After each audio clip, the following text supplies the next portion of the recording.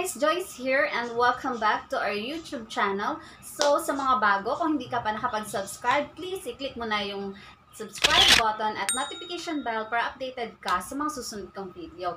So, guys, may bago na naman tayong video. At ang ating video for today is all about Magic Curler. So, ayan guys, today, isi-share ko sa inyo kung paano gamitin itong automatic curler na Vivid and Vogue. So, napaka-easy lang itong gamitin, kaya i-share ko sa inyo kung paano siya gamitin.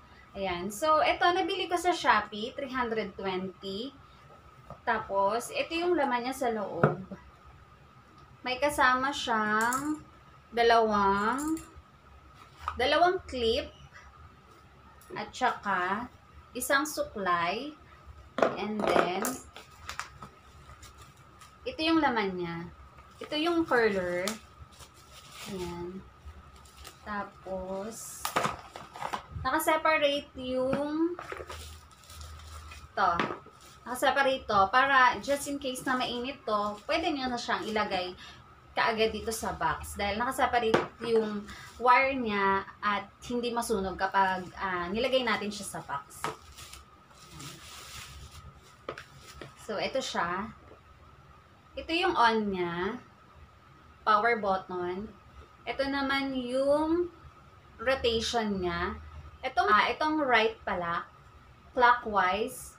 Ito namang clockwise rotation. Ito namang left, counterclockwise rotation.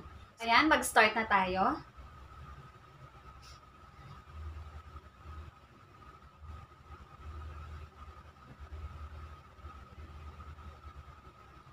Yan, gagamitin ko na itong clip. Dito ako mag start sa ibaba hanggang patas.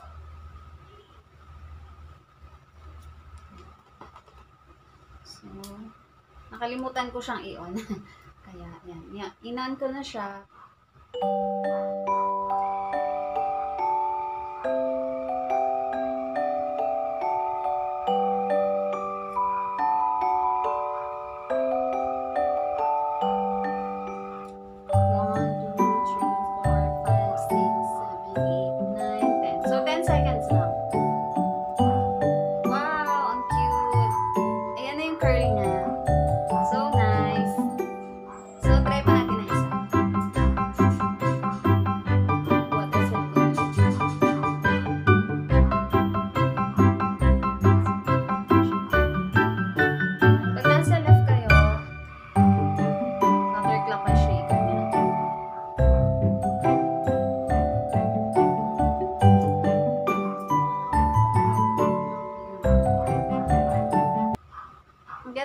Ng pagka-curl niya.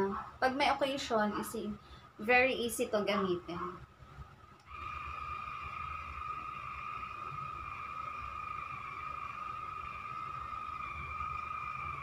One, two, three, four, five, six, seven, eight, nine, ten. Ooh, yan. Guys, tapos ko na yung sa left. Dito naman tayo sa right.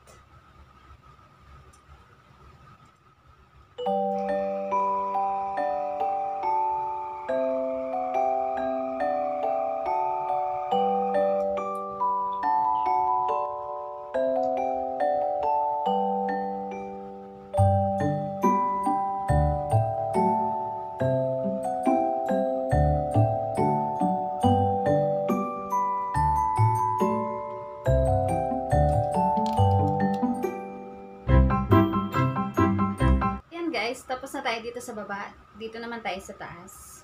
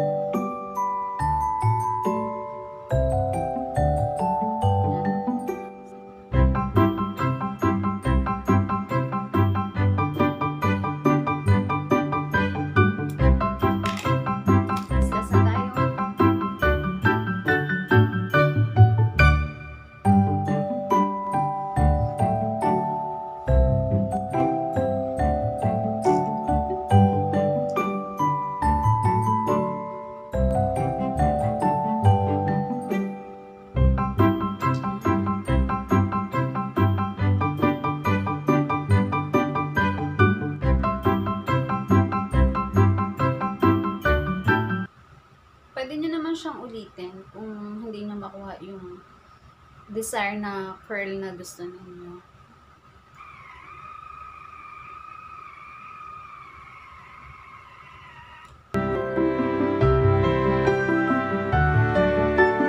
Yan. Yan guys, so na tapos ko na silang lahat. After ko niyan, palalamigin ko na. Pag napalamig ko na sila, pag hindi na mainit yung curl, lalagyan ko sila nitong hair fix curl styling control para magtagal yung kulot niya. Yan. So, ito mainit-init pa. Ito, tuyo na siya. Ay, I mean, um, hindi na siya mainit. Kaya, lalagyan ko na siya ng curl styling milk.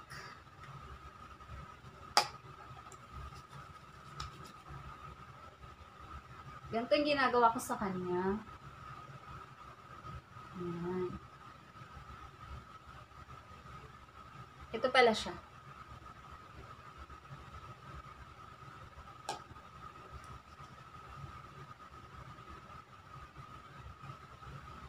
Tada, o aura na. Pwede na gumora. Ang ganda. Yan na siya.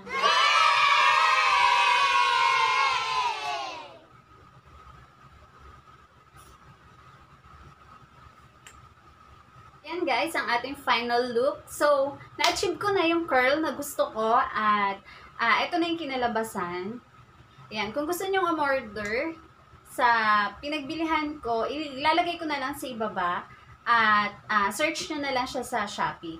Lagay ko yung name na pinagbilahan ko ng Vivid and Vogue sa Shopee. Guys, very easy gamitin itong Vivid and Vogue automatic curler, lalo na pag may occasion, perfect siya dahil di mo na kailangan pumunta pa ng salon para gumastos at magpaayos ng buhok. Ah, dito pa lang sa curler na to, kayang-kaya mo nang ayusin na mag-isa yung buhok ninyo. Kaya, yan, tara na mga best, aura na tayo. Kaya, yan guys, ah, kung nagustuhan nyo ang video na ito at nakatulong sa inyo, please give me a thumbs up and click nyo na rin po yung subscribe kung hindi ka pa nakapag-subscribe para sa mga susunod kong video ay ma-update po kayo. At wag nyo na rin kalimutang i-click yung bell button. Bye! Thank you so much for watching.